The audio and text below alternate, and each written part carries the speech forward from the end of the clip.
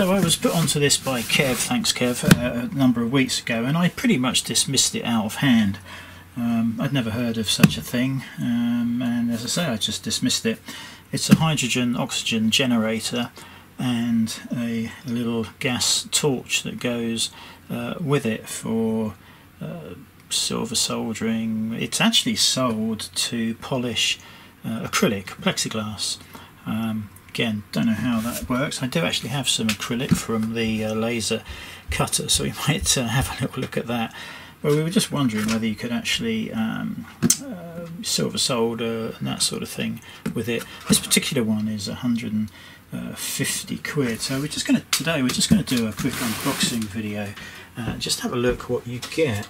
Um, you are going to need some other bits to go with this. Uh, you're going to need um, distilled water, unless you've got a uh, purifier in the house for something like a marine tank like we've got. Um, you're going to need some potassium hydroxide. Uh, I'll leave a link to that. It's not a common substance, it's hazardous as well, but I've managed to order a kilo from somewhere in the UK. Uh, and ethanol, I think, as well. There's a, uh, a bubble trap. I'll, I'll, show you in a minute. But so, but not uh, particularly, you know, expensive. Five litres of uh, distilled water is not a lot. Same with ethanol and uh, the potassium hydroxide. Now this came, I wasn't expecting this for another week or uh, so, but it turned up pretty quick.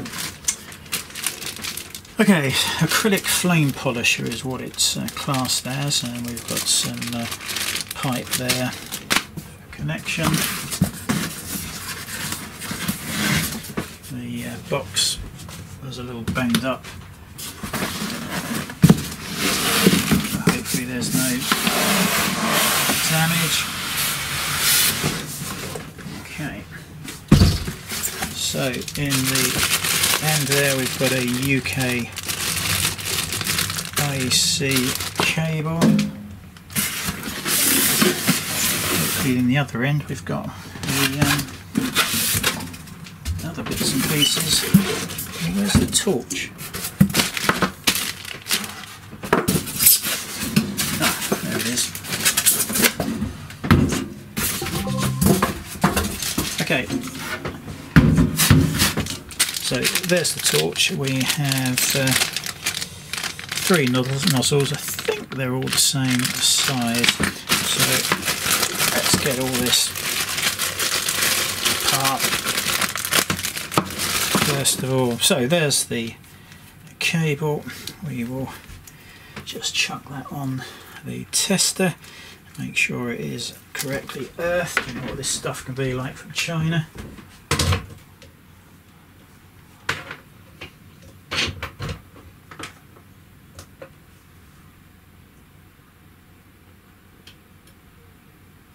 Yep, a pass, so we've got uh, all three conductors connected correctly. That's that. So the descriptions on eBay and Amazon I don't think really explain things very well, especially the part that where you need other bits and pieces to go with it. So we've got a very basic uh, book.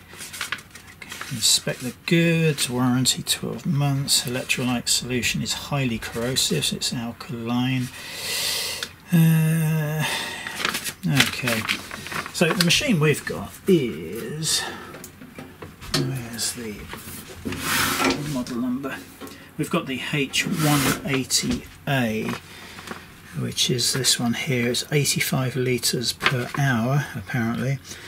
Uh, water consumption is 30 millilitres per hour. Uh, maximum water that the tank can hold is 1 litre. Uh, solution density 15% I don't know how you're going to measure that.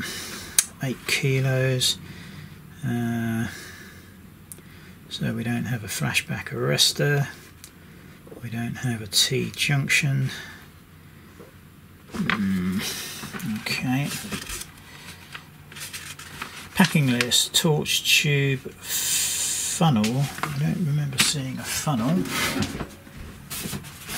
Oh, there it is.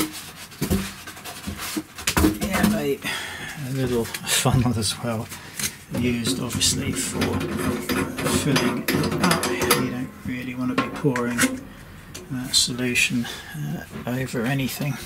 As I say, it is uh, highly alkaline. Uh, so we've got all the bits. What we do not have is uh, item number four, which is the powder. Because it's hazardous, uh, it cannot be shipped. It then goes on to show you how to make uh, the electrolyte solution. Uh, add electro electrolytic powder, which is sodium hydro. Oh, I got shit. Did I buy potassium hydroxide or sodium hydroxide? Oh crap. Hmm. I've bought the wrong powder, I'm going to have to check that. That's a bugger.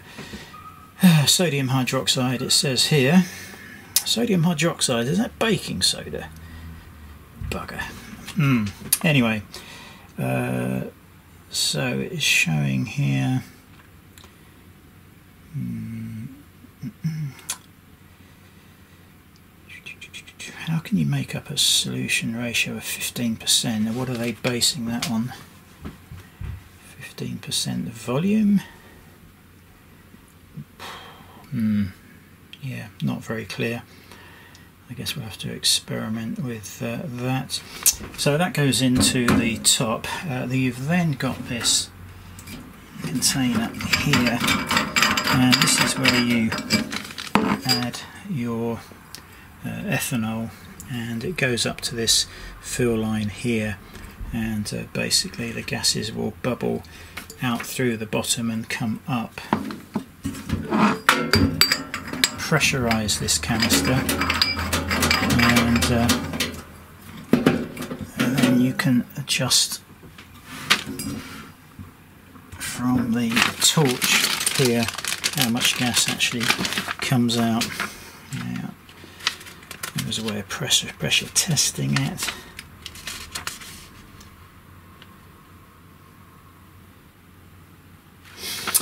Okay, um, so it's saying here that you can also add alcohol to the cup lower than one third of the cup.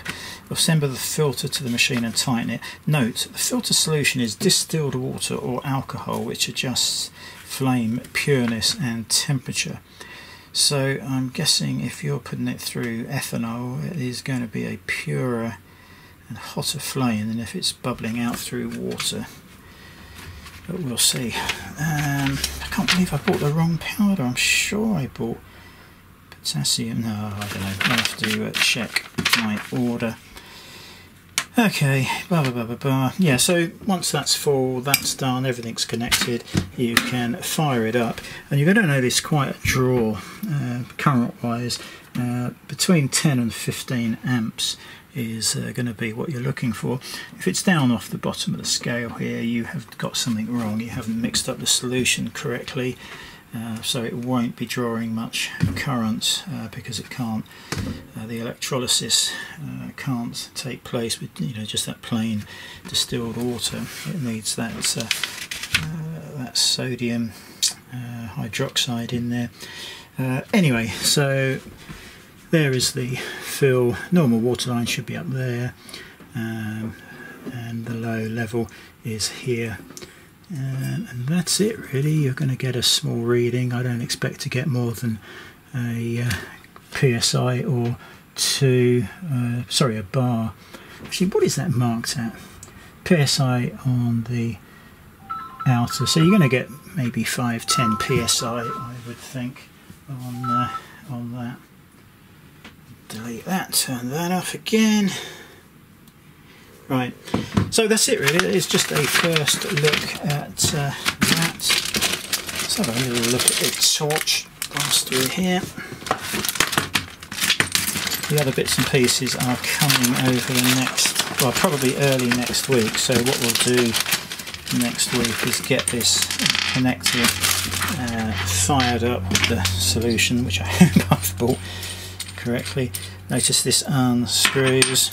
You've got a uh, got to cut that off nice and square push it on and do that up and you can slide this back up and on just seal that there you've got a oh, that's a nice smooth knob there and then the replaceable nozzles on the end. Three of them all the same size.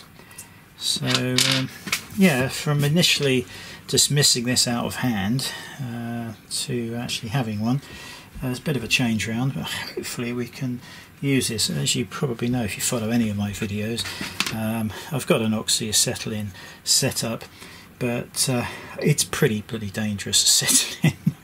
Um, if that went up you know half the street would go up with it so I don't store it in here which means it's not exactly practical I've got to go and get it from one of the sheds, drag it all out, check it every, check everything, make sure nothing's been nibbled uh, pipe wise, and, and get it all set up. So it's a bit of a pain when you could kind of use it.